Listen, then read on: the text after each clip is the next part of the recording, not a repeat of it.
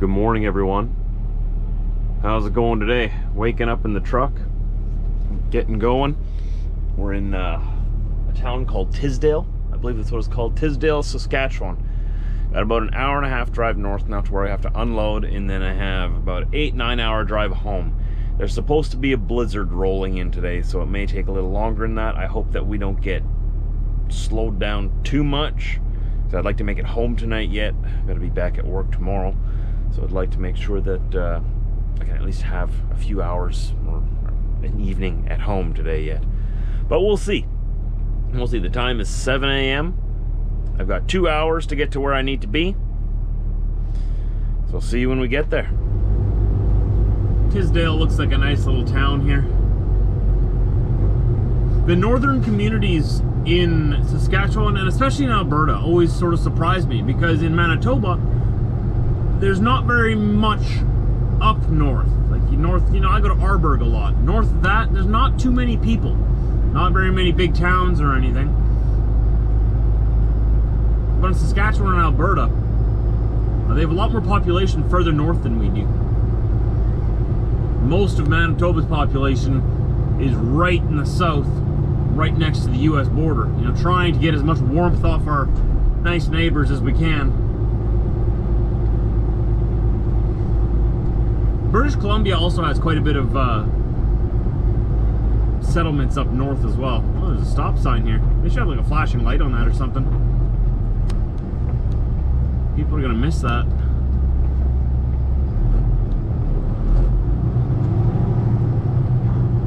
A nice little Saskatchewan town. I've missed coming out here.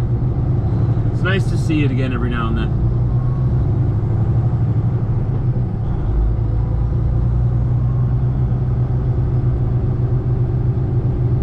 Hopefully the weather's not going to get too bad for me today. I'm a little worried about it, but we'll take care of it. We'll handle it, whatever it is. But I just, I just don't want to be delayed too much. I'd really like to get home at a decent time. But this is trucking, right? It's trucking, so you can't count on anything, really. You can count on plans to not go as planned.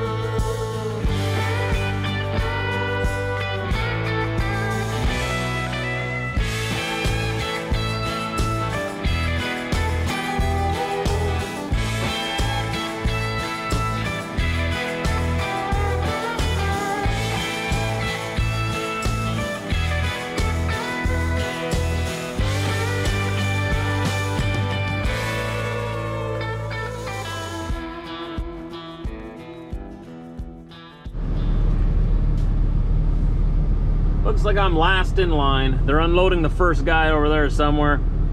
Unloading this guy next. And then I'm the third and the last. I was here early too. I wanted to be first. Got here early, it's just the other guys got here earlier. I guess they wanted to be unloaded first more. They told us to be here 9 in the morning, so I got here like quarter to 9. I'm like, oh yeah, that'll be early. That'll be early enough. No, no, I don't know when these guys got here. Because we were told not to sleep up here at the site. We were told to sleep in town, uh, in Nipawin. I slept down in Tisdale, so I started a bit earlier. Uh, I thought I'd be here. Oh well, not a big deal. Not a big deal. These guys won't take too long to be unloaded. And mine's only going to take five minutes. Once I get my straps off, I got three crates. Dunk, dunk, dunk, just like that. With those sounds. And it'll be all off on the ground, and I'll have an empty trailer, and I'll be headed back home. I just don't know how long these guys are going to take. This guy shouldn't be too long. He's got about one, two, three, four pieces, I think. Yeah, we'll be all right. It won't be too long, I'm sure. I'm hoping to miss that blizzard that's supposed to hit Manitoba tonight. I'll probably be driving into it later this evening. Hopefully we make it home. I mean, we will make it home. Just hopefully we uh, make it home tonight. But you know, if it gets too bad out there, it is what it is. You gotta keep safety in mind. Slow her down. I'm gonna be empty. I'm gonna have an empty flatbed behind me. Not gonna have as much traction as if I was fully loaded, so I'm gonna have to keep that in mind. It'll be fine. It'll be fine. Nothing we haven't done before, and we'll just be careful. I've got to remind myself sometimes when I talk like that that I'm you know, I'm confident in my ability to drive this truck in all weather conditions. Uh, I've seen it all pretty much. I've been through pretty much anything you can put me through on the road. I'm sure there's always something new to go through that I haven't. Uh, but don't mistake my confidence for uh, ego or arrogance. Uh, I don't want to come off like that. I've been accused of that in my comments section more than once that I've just got this big, massive ego that I can do anything. No, no, I'll, I'll be the first to admit uh, I'm always learning. I'm just confident in my ability to safely maneuver this truck and get it to point from point A to point B in a safe manner and get there safely. I have a, a million miles behind me here, a million safe miles, so I have that to back up my confidence. But I also want to make sure that I humble myself and remind you and myself that there's always something new I can learn. There's always new experiences that can teach me new things. So don't uh, just, just don't confuse my, my confidence for anything other than that. Uh, it's just experience. And what's, what's the worst that could happen on the way home? It gets so bad that I have to shut down? Well, then I pull it off the road to a safe parking lot and I shut down for the night and wait out the storm.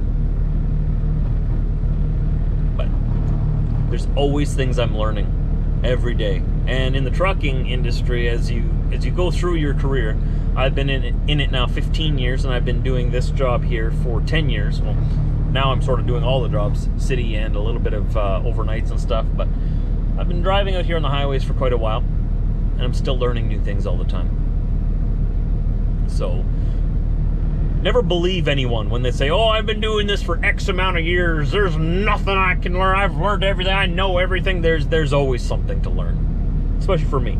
And I always take tips. If I'm doing something wrong, or if I'm doing something in a way that could be done better or more efficient, I'm always open to advice and tips from guys who've been doing this longer than me, or even the guys who haven't been. If you catch me doing something that I could be doing more efficiently, always willing to learn the only time you stop learning when you're trucking is when you think you know it all. When you think that you know everything there is to know. So we're empty and on our way back. Taking a little bit of a different route this time though. Or route, or however you say. I never know how to pronounce those words. I think root is the Queen's English. I think that's the way, the proper way to say it. I mean,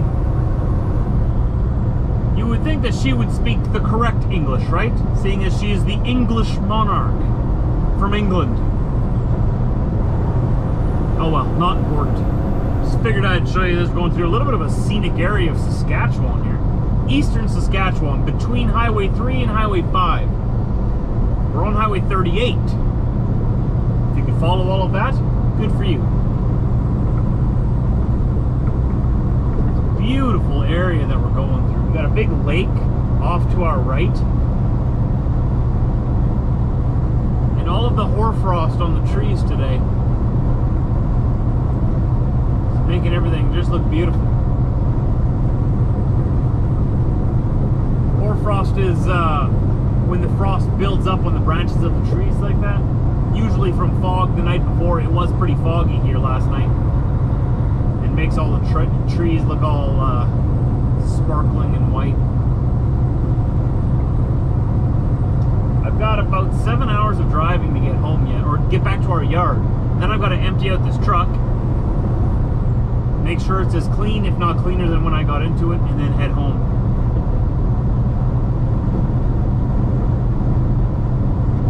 I love this country though. Just being able to be out here and see it.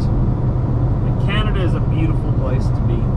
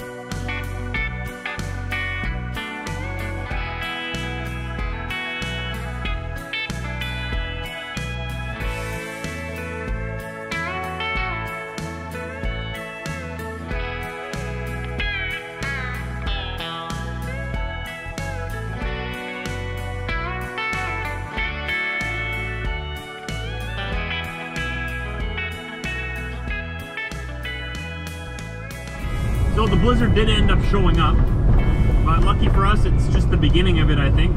The roads aren't slippery at all. It's just blowing snow over the road. Now that we're getting into Headingley, it's uh, slowing down, calming down quite a bit here too. Sort of sheltered by all the buildings and stuff. Gonna grab some fuel at the Flying J. Uh, so the next driver after me doesn't have to go fuel it up right away. Like to leave the truck full of fuel. I found it full of fuel, so I'm gonna leave it full of fuel and DEF. This truck was a real treat to drive. Like definitely my favorite, like, what would you call this? A condo style truck? I mean, I already knew that Kenworth was my favorite, but this is my first trip in a T680. Wow, like, it is a beautiful truck. It's just a behemoth. It's just a huge, there's so much space in here. You have a, have a party in here. My phone's even going nuts. This guy parked right in the lane. What's going on? Someone. I hope he didn't break down right there. Be a nasty spot to break down. Right across the street from the truck stop there, though, bud. I'd just pull into the truck. Oh boy, maybe his engine died. But yeah, this T680, I tell you, this is a truck of dreams. Truck of dreams. Smoothest, biggest, most spacious, roomy truck I've ever been in. The definition of highway luxury. And the saddest part of the day and of the whole trip. Saying goodbye to this beautiful girl it's behemoth. This is a huge truck. it's just massive. And you sit so high off the ground, like compared to, I guess it's about the same as that one. That's a Peterbilt right there. I mean, they're both nice trucks, but wow, this Kenworth takes it up to the next level. This T680, I tell you what, if they ever rope me back onto the road full time, I'm gonna get on my knees and beg to be in a T680. man, this would be comfortable to live in. So hey, if you guys want to work here, if you guys want to drive here, this might be the truck you get assigned to if you're coming on to the dark hole side of things. I mean, it's a really nice truck. Trucker Josh approved. I am blown away. Nicest truck I've ever driven. Aside from like the classic long nose W9 and you know the long nose Pete, those I'm not counting those because those obviously are uh, trucks in themselves in a category of their own. But this for comfort, luxury, quality, man, I had a really, really good time. If they ever need me to do another overnight and uh, they assign this truck to me, man, I won't hesitate. I have made myself available for these, so whenever they're in a pinch or whenever they need someone or maybe they just want to throw me a bone every now and then and let me go out overnight or maybe for a couple of nights maybe further sometimes but uh, they know I need to stay closer to home but I am definitely not going to fight them if they want me to go and stay on the road overnight or you know take the odd long trip out there too down south. I, I don't mind at all this is what I live for this is this is the reason I live trucking all kinds of it but I like the city stuff too I love that Pete that I drive. Old school Pete. Love that. I, I just like it all. I don't know. I'm a happy guy. This it doesn't take too much to please me. Just give me a truck that runs, give me a load to pull, and I'm gone. Happy as can be. And then, on top of this, I get to go home to my awesome wife now. And all of our dogs and our nice little home. That's awesome. Okay, on on that note, I'm gonna get everything packed up here. I've sort of already got it all uh, in a bit of chaos over here. I'm gonna bring it to the passenger door. I'm gonna bring my pickup up beside us there. Then I've got to remember to move my straps out of this truck, put it back in the Peterbilt that I'm gonna be driving. Okay. I'll see you later, everybody, if I don't talk to you again tonight. Have a good one. Thanks for tagging along with me and keeping me company on this trip to Saskatchewan. I hope you tune in again, and if you haven't already, hit that subscribe button. I'd love to have you here. Make videos pretty much every day, most days. Always something going on. If you love trucking, then you belong here too. I'll talk to you later.